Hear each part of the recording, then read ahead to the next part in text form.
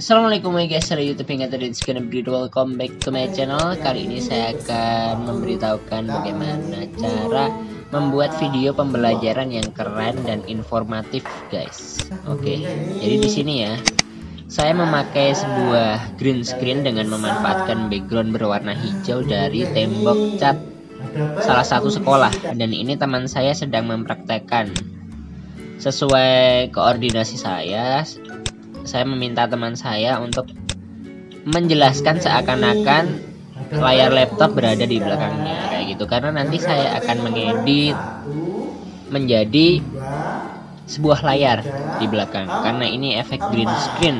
Jadi nanti transparan otomatis saya harus pindah posisinya ke atas tadi ya. Nah ini yang bawah ini diganti layar di laptopnya. Jadi ada dua video yang pertama itu video teman saya menerangkan. Setelah itu yang video kedua bawahnya ini itu sebentar kita efek dulu.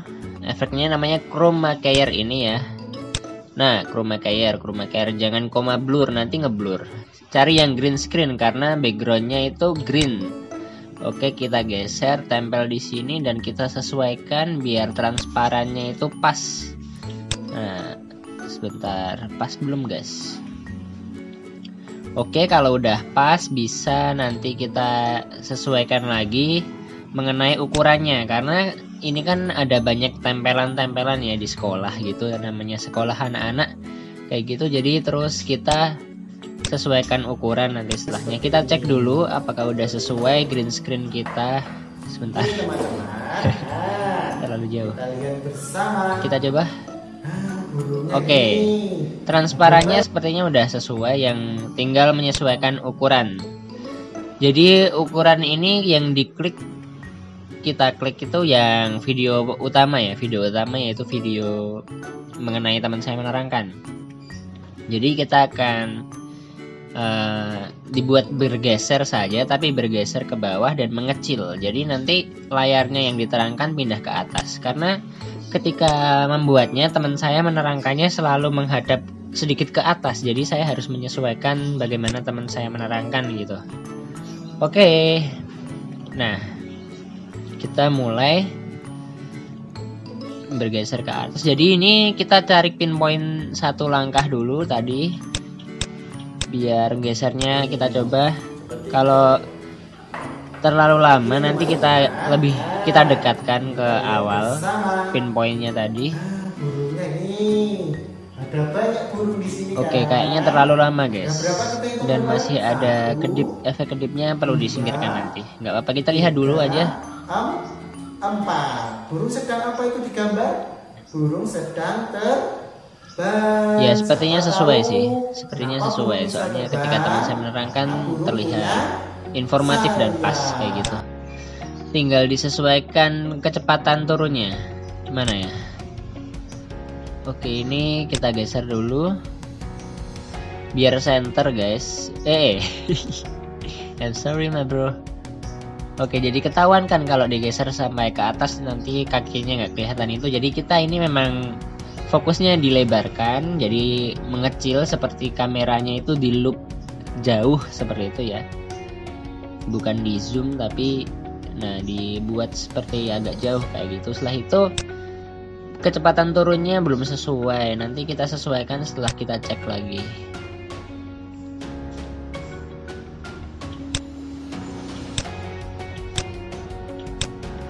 Oke, kita coba. Nah, turunnya seperti ini. Seperti itu. Ini teman-teman. Nah, kita lihat bersama bersama. Ada banyak burung di sini kan? Ada berapa kita hitung bareng? Satu. Oke, kecepatan turunnya kita percepat. Karena ada banyak burung di sini teman-teman. Kayak gitu masih masih di atas. Jadi masih absurd. Nah kalau agak cepet gini kan lah agak agak nyambung gitu. Kalau pas tadi kan nggak nyambung. Ada banyak burung di sini Empat. Empat. Oke. Okay. Burung sedang We did it. Dan siapa tahu kenapa burung bisa terbang kenapa yo burung bisa terbang kenapa yo iya benar sekali oke ya membuat kayak burung gitu ya jadi karena inget masa kanak-kanak oh iya udara yang besar sehingga dapat menggerakkan sayap-sayapnya untuk ter terbang seekor bu burung kita mau belajar tentang burung lanjut. Ya kita dengarkan dulu. Nah kita akan baca yang kedua. Anggota anggota badan burung kita lihat di situ ada apa namanya? Yang untuk melihat mata. Iya burung memiliki mata. Lalu apalagi itu? Ya kita sesuaikan karena rekaman layar di apa powerpointnya itu tadi saya timingnya kurang pas dengan penyampaian pak gurunya. Jadi kita sesuaikan. Entah kita potong atau percepat atau diperlama dengan burungnya ini. Ada banyak Kita cek dulu. kan? ada berapa kita hitung bareng satu dua tiga em, empat. Burung sedang apa itu digambar? Burung sedang terbang. Siapa tahu kenapa burung bisa terbang? Karena burung punya sayap. Ya kita cek tadi sepertinya ada miss di bagian pindah slide. Karena di dalam Nah, ini terlalu awal, jadi kita perpanjang nanti. ini kan masih menerangkan kenapa burung bisa terbang kayak gitu. terus kok udah pindah di anggota tubuh burung Ya kita Lanjut. cari bagian pindah slide-nya di sini. Nah, kita akan baca yang kedua. Anggota, Nah. anggota badan burung. kita cut di sini terus kita perpanjang. Nah, burungnya ini. Ada banyak burung burungnya ini. Kita lihat bersama. Nah burungnya ini. Ada banyak burung di sini kan? Ada berapa kita hitung bareng satu dua tiga em, empat. Burung sedang apa itu digambar? Burung sedang terbang. Siapa tahu kenapa burung bisa terbang? Karena burung punya sayap. Ya Iya, benar burung punya Apa saya yang membuat burung saya mulai bosan mendengarnya? Karena besar sehingga dapat menggerakkan sayap-sayapnya untuk ter terbang. Itu seekor bu burung. Kita mau belajar tentang burung. Lanjut. Nah, bagian kata lanjut ini seharusnya bagian burung pindah slide ini, anggota tubuh burung. Kita cut, setelah itu kita perpanjang dengan efek slow-mo. Semoga sayapnya tidak terlalu terlihat slow-mo ketika kita tarik dengan efek slow-mo. Cara tarik efek slow-mo-nya itu dengan CTRL ya atau kontrol. Kontrol terus tarik di drag pakai mouse gitu aja. Ini tadi belum saya efek slow-mo karena saya masih mencoba menyesuaikan dengan dengan penambahan awal aja. Setelah itu kayaknya nggak pas, jadi kita tetap harus pakai slow-mo.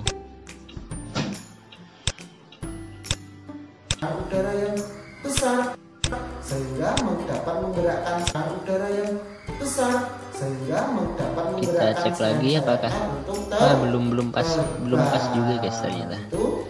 Jadi di bagian kita menerangkan pakai green screen kayak gini tuh yang susah editornya. Soalnya nggak real time. Kalau recordingnya real time itu bisa pas. Oke, kalau udah ada tanda melengkung-melengkung ini tadi ini tandanya udah saya itu ya slow mo. Jadi efek slow mo-nya alhamdulillah nggak kelihatan di sayapnya. Ya ada beberapa burung yang kelihatan kena slow mo-nya tapi yang satu itu kelihatan cepet gak apa-apa. Masih terlihat normal. Iya.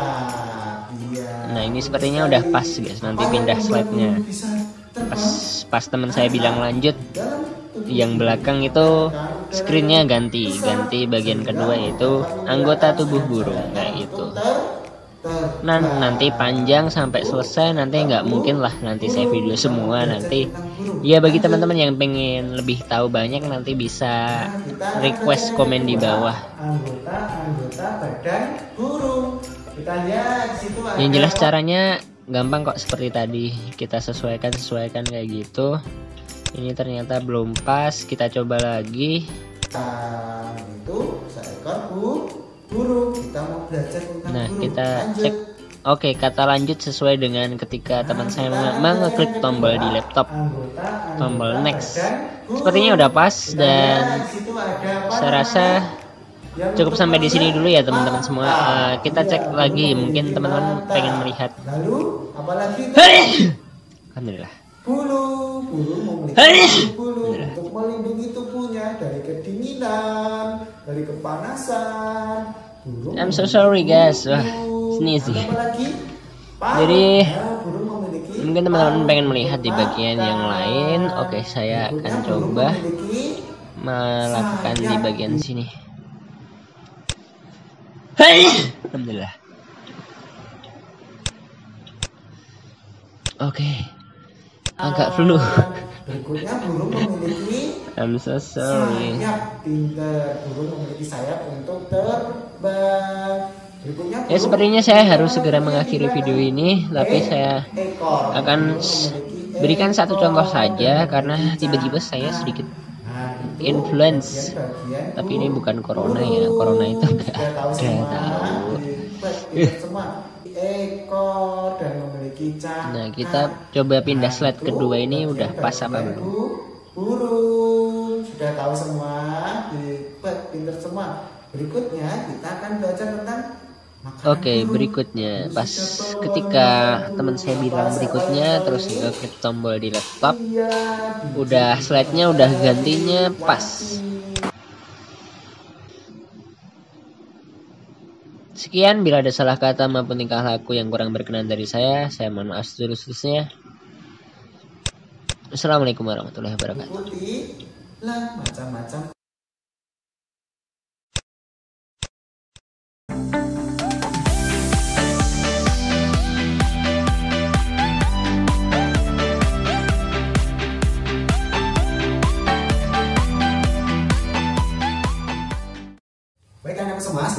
kita mau masuk, 5 menit lagi kita mau masuk. Nah, segera bereskan mainannya semua ya. Nanti kita akan belajar dan bermain bersama Pak Guru hari ini. Baik, alhamdulillah semuanya sudah rapi, sudah pintar sekali. Waktunya kita mau belajar agar nanti Allah ridho sama kita. Kita berdoa terlebih dahulu. Siapa yang mau berdoa? Ayo cek siapa berdoa? Oh iya, Mbak Novi silakan maju. Bismillahirrahmanirrahim. Rabbi zidni ilma warzuqni fahma. Ya Allah, berikanlah aku ilmu dan mudahkanlah kami untuk memahaminya. Amin. Assalamualaikum warahmatullahi wabarakatuh. Iya, selamat pagi Mbak Novi, apa kabar? Baik, selamat pagi Mas Anton, apa kabarmu? Baik, selamat pagi semuanya, apa kabar? Baik, apa kabar hari ini? Subhanallah, Alhamdulillah, luar biasa. Hari ini ada yang tidak masuk? Masuk semua, Alhamdulillah. Sebelum kita belajar hari ini Hari ini kita mau belajar tentang binatang kesayangan Binatang burung. Nah, siapa yang pernah lihat burung kecuali? Iya, sudah lihat semua. Seperti apa burung itu? Nah, ini, aku sudah bawakan seekor burung kita lihat bareng-bareng kita lihat bersama-sama. Nah burung yang menciptakan siapa anak semua? Allah iya. Burung ini kita lihat di sini ada tempat apa ya namanya? Ya ya iya ada tempat makan dan juga minum. Nah burung memiliki apa saja ya? Kita lihat bersama-sama. Nah apa rumah burung di mana?